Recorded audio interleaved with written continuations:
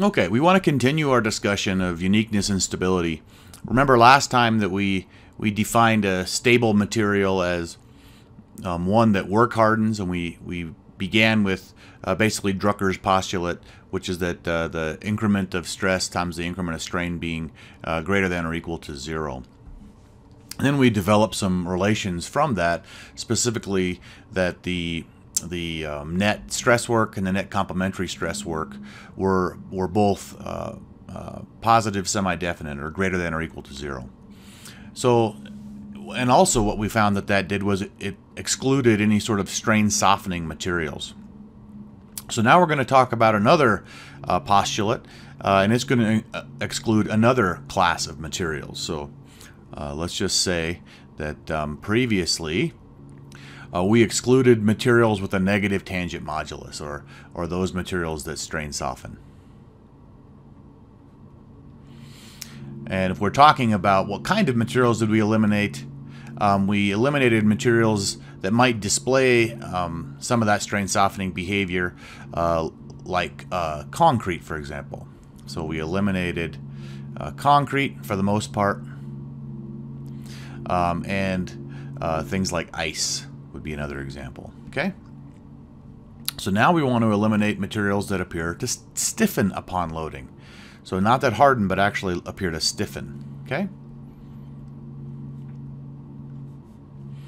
So we eliminate materials uh, that stiffen upon loading. Okay? So what do I mean by that? Let's draw a stress strain curve. So here we go. Same as before, this is some epsilon ij. I'm representing it in one or in two dimensions here, uh, really just uh, one dimension of stress, one dimension of strain, just for illustration. The material is going to load up, and then this would be, let's say, our typical strain hardening material that we had denoted previously as A. And now we want to look at what about a material that that stiffens as we go up. We'll call that material C. Okay, so um, so let's let's say that curve C um, uh, is typical of a couple types of materials. Um, let's think about what that might be. What would cause a stiffening? Well, the the easiest way to think of it is something maybe is becoming denser as we as we apply a load to it, um, so that uh, think about maybe like um, uh, porous materials that might have pore collapse or or something like that. So this is typical of uh, porous aluminum would be an example. Uh, or maybe snow. Right? Because there's nothing we could... Um, again, it's it's uh, obviously in tension that's not the case, but in compression it would stiffen like this. Okay? The key feature here is that for our, our postulates that we talked about previously, both uh, A and C uh, will satisfy the postulate 1 that we developed from the previous lecture. But uh, for the purposes of this class, we want to eliminate uh, the, the material behavior shown by C.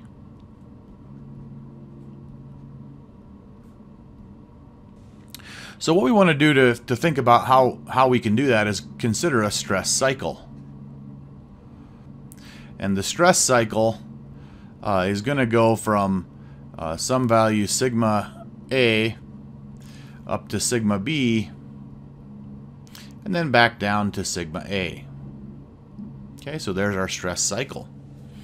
Let's look at what that's going to look like uh, up here on our plot. Let's let's choose, um, uh, let's say uh, this quantity here. Let's say that's sigma A.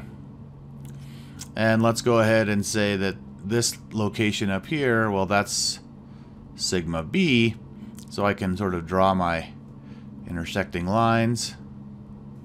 And the same thing here. I'm going to keep going. And then we have this initial elastic modulus of E. Okay? Okay, so the the the um, path that we're going to take, let's say for material A, we're going to start at sigma A down here and we're going to ramp up to sigma B. So along A, that's going to look like this red curve. And then if we drop back down to, to uh, sigma A, it's going to unload elastically, just like that, right? Where this is the elastic modulus, okay? Okay, so how about the case for C? Well, C is going to start at the same location, except it's going to ramp up to there. And then on unloading, it's going to it's going to unload along the elastic modulus, so it's actually going to come down here, right? So let's call this this curve here C1, and this side C2, so it unloads this way and loads up this way. Okay? And uh, let me also label A1 and A2 for you. So in this case, we'll load up, load back down. We'll call this curve A1, and then this curve A2. Okay, so now let's think about what the complementary work is uh, in this case. So the complementary work uh, is going to be given by, now we're going to integrate over this cycle, and the complementary work is going to be epsilon ij times d sigma ij, right? That's the definition of complementary work.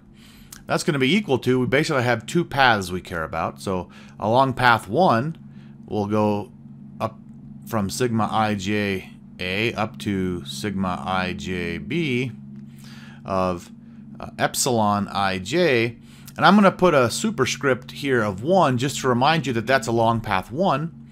That's, of course, going to be d sigma ij. Then it's going to be plus the integral from, now it's going to go back down, sigma ijb to sigma ij a. And I'm going to show here, this is epsilon ij, and this is path 2, whether it's a or b, it doesn't matter. Uh, and then d sigma ij. Okay? So we can simplify this integral, um, just noting that we can switch the order of integration, and then we, we obviously make this negative, but then we can bring it all under the same integral. So we can integrate, this, this is the integral from sigma ija up to sigma ijb. Now times the quantity, epsilon ij1 minus epsilon ij2, right? And we'll go say that's still times d sigma ij. Okay? So we have two conditions here. So we'll say, what, what does it look like for curve A? Okay? And then we'll also ask the question, how about for curve B, for curve C? Okay? And what we want to try to evaluate is what is, for curve A, what's epsilon ij1 minus epsilon ij2? Um, and then the same thing here.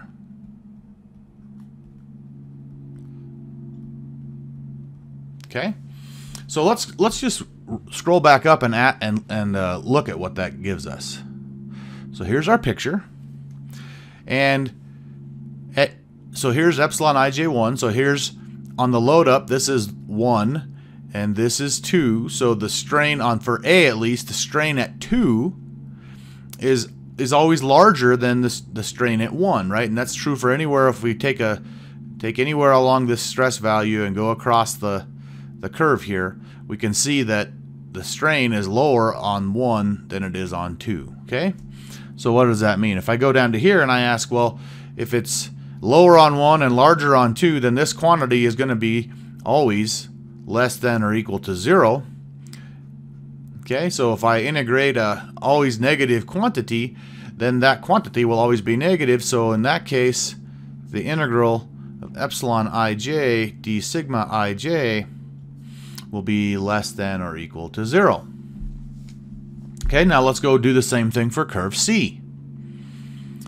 Okay, so for curve C, it's the opposite effect, right? The unload C2 curve uh, is actually going to show a, a larger, uh, sorry, a smaller strain than the, the loading curve.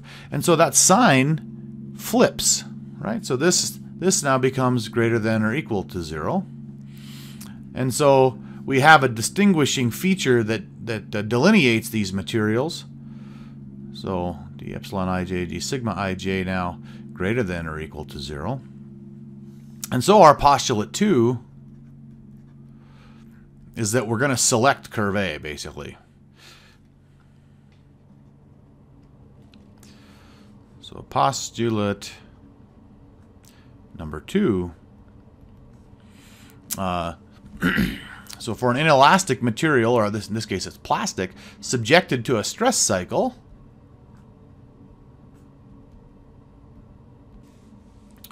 okay, the complementary uh, stress work uh, is negative semi-definite.